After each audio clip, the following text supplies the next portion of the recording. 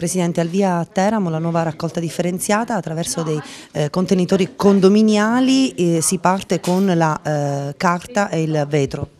Sì, partiamo con la carta e il vetro eh, in modo generalizzato. Questo perché? Perché eh, una raccolta di questo tipo è comoda sia per i cittadini e chiaramente è più facile la raccolta da parte dei nostri operatori. I risparmi quali saranno?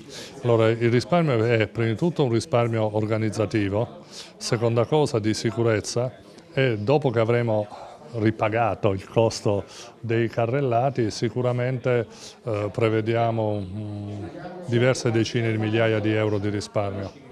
Tecnicamente con la nuova raccolta come ci si dovrà comportare per fare appunto una eh, raccolta differenziata, come si deve? Una cosa che vorrei ricordare anche in merito al fatto della, di questa performance della, della, della, Corepla, quindi la raccolta della plastica, che secondo me in buona fede c'è una frazione della plastica che finisce nell'indifferenziato, perché c'è il concetto di pulito nella raccolta dei rifiuti che eh, forse i teramani hanno assorbito un po' troppo, però pulito significa che la, la plastica, ma comunque il vetro, vetro, qualsiasi contenitore deve essere libero del suo contenuto. Non significa che dobbiamo lavare o comunque che deve essere pulito per essere conferito, perché un rifiuto, anche se differenziato, rimane sempre un rifiuto.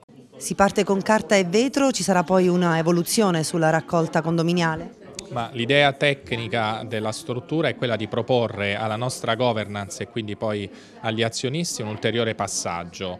Una volta verificata eh, la maturità del cittadino sulla quale abbiamo eh, quasi una certezza, perché cittadino della mano è un cittadino ormai virtuoso, abituato a differenziare, vorremmo inserire anche una raccolta condominiale dell'organico, della frazione organica e fare un ragionamento diverso sulle frazioni che non vada sicuramente a penalizzare il cittadino ma consenta di ottenere un'economia sia in termini di costi che di produttività.